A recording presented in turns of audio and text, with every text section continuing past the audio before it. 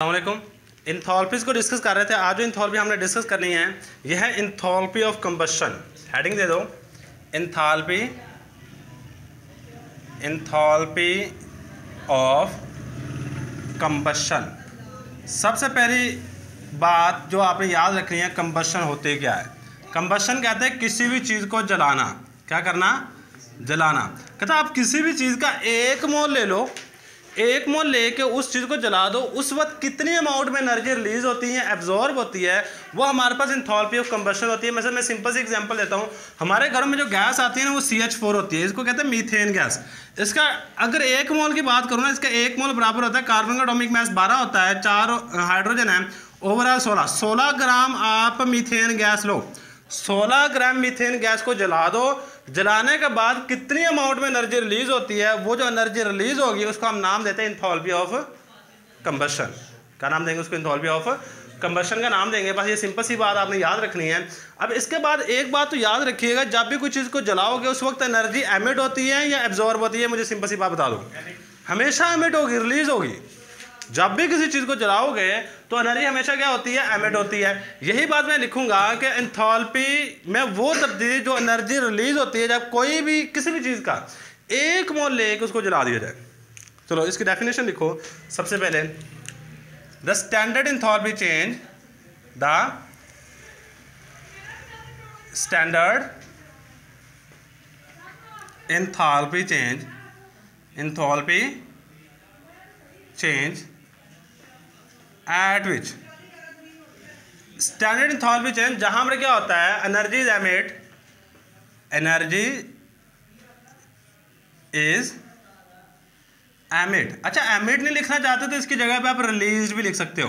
क्या लिख सकते हो? रिलीज़ सही है? Emit when one mole of a substance when one mole of a substance mole of a substance जब किसी भी शय के एक मोल को substance is burn is burn in excess of oxygen in excess of oxygen oxygen की मौजूदगी में जलाना है।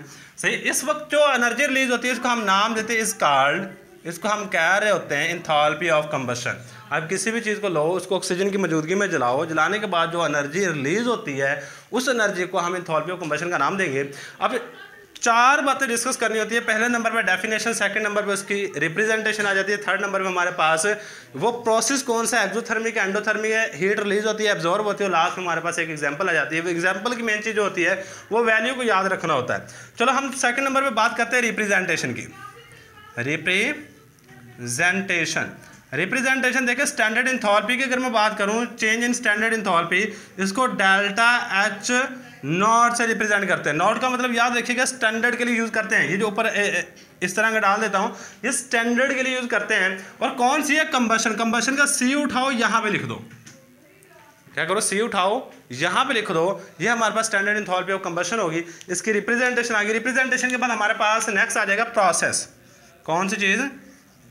प्रोसेस ये तरीकाकार कौन सा एक्जोथर्मिक है एंडोथर्मिक है? याद रखिएगा, जब भी किसी भी चीज़ को जलाते हो तो एनर्जी हमेशा रिलीज़ होती है। So this is a exothermic process the process is the process is exothermic exothermic process exothermic होगा।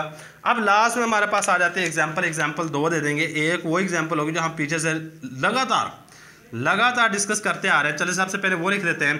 कार्बन को जब ऑक्सीजन की मौजूदगी में जलाया जाए तो यह हमारे पास बना देता है कार्बन डाइऑक्साइड गैस और यहाँ पर जो डेल्टा एच ऑफ़ कंबशन होती है, वो होती है हमारे पास one sorry three ninety seven minus में point three ninety three point three ninety seven point three I think इस तरह की होगा।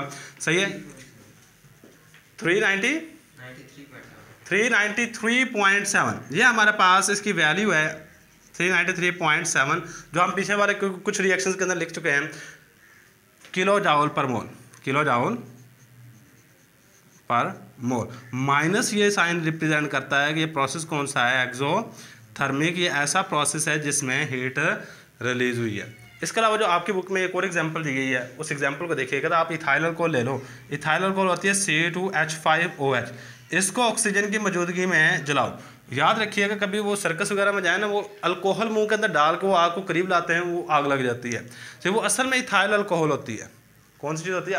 इथाइल अल्कोहल ये आम जो अल्कोहल पीते हैं, शराब पीते हैं, ये उसका formula C two H five O H सही है? अब जब इसको ऑक्सीजन की मौजूदगी में जलाया जाता है, याद रखिए कि जब भी किसी भी चीज़ को जलाएँगे कार्बन डाइऑक्साइड गैस बनती है और साथ में वाटर बनता है। इक्वेशन को बैलेंस कर लो, यहाँ पे दो कार्बन है, यहाँ पे दो कार्बन डाइऑक्साइड के मॉलिक्यूल बनेंगे। और यहाँ पे कितना है? दो हाइड्रोजन तीन, यहाँ पे तीन आ जाएँगे, बस। ये वाला है हमारे पास। यहाँ पे जो डेल्टा एच की वैल्यू याद रखिएगा डेल्टा एच की वैल्यू होती है one point three six eight minus का आएगा किलो जावल पर मोल माइनस ये रिप्रेजेंट करता है द प्रोसेस इज़ एक्जोथर्मिक इस प्रोसेस के अंदर हीट रिलीज़ हुई है। ये तो जी हमारे पास इंथॉलपी ऑफ़ कंबर्शन बस इतनी बातें याद रखिए चार चीज़ें अमूमन लिखनी होती हैं किसी भी इंथॉलपी के अंदर। अल्लाह हाफिज़।